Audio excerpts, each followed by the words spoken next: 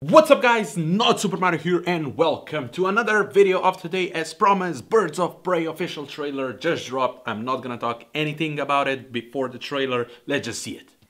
You know what a Harlequin is? A Harlequin's role is to serve. It's nothing without a master. No one gives two shits who we are beyond that.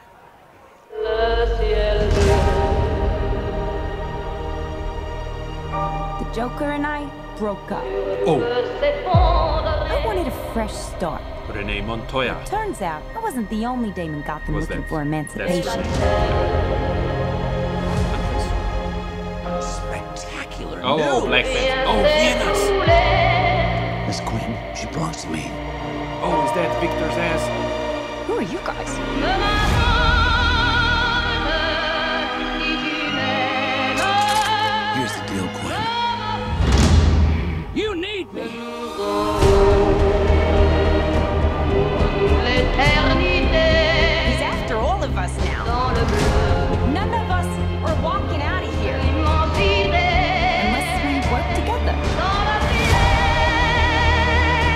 Okay. You gotta be kidding me.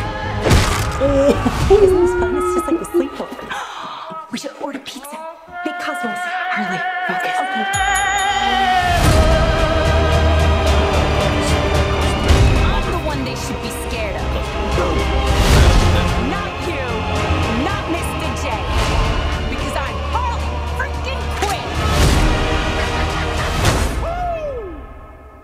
A good time? Get ready, ladies.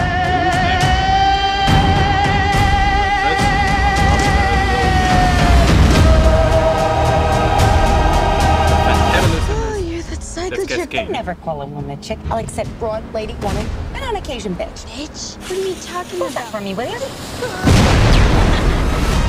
Okay. Okay, so uh, what do I think about this trailer? Uh, it really focuses on Harley Quinn, Margot Robbie's character. She looks phenomenal. Like she was the best part of Suicide Squad, and that's why they're making this like her as the main character because she was so phenomenal in a movie that wasn't really good, at least in my opinion.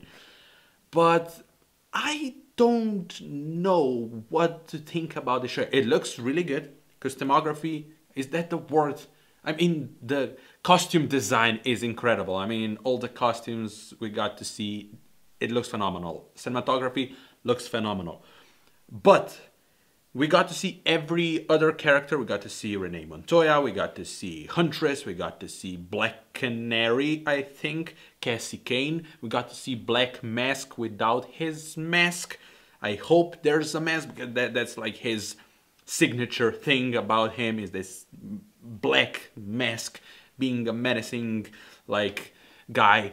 And i think that was Victor Zsasz so Victor Zsasz if you don't know from the comics and i don't know if that's that's 100% true but he's very scarred. I think he did that to himself for every single uh, person that he killed. He made like a scar to himself and he doesn't look very scary, if you know what I mean in this. Not that I want a, a 100% uh, iteration from the comics, but Victor Zsasz in the comics looks terrifying.